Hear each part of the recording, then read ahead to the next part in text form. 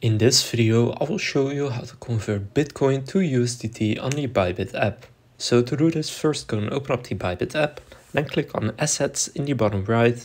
From here, just go and click on Convert.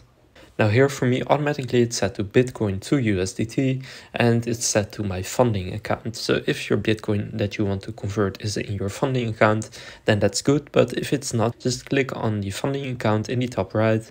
Then here you can also select your spot account.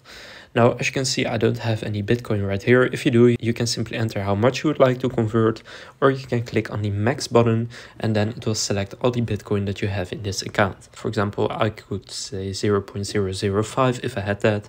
Then you will see how much USDT you will get. And then you can simply go and click on quote in the bottom and then go and confirm that you want to do that. And then the Bitcoin will be converted to USDT.